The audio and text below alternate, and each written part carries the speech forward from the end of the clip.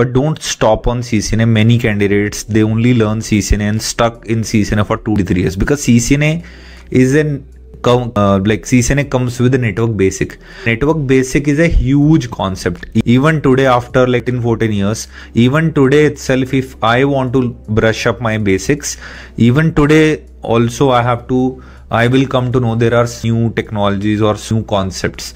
So what I'm trying to say in simple words, network basics you cannot complete a network basic because it's a very huge domain. Whenever people think, okay, I have to learn TCP IP, I have to learn OSI model, learn in that way so that you get a job, you get a high salary because you, you are not going to write research papers right now goal should be get a job three months four months is maximum for CCNA because now CCNA is basic certification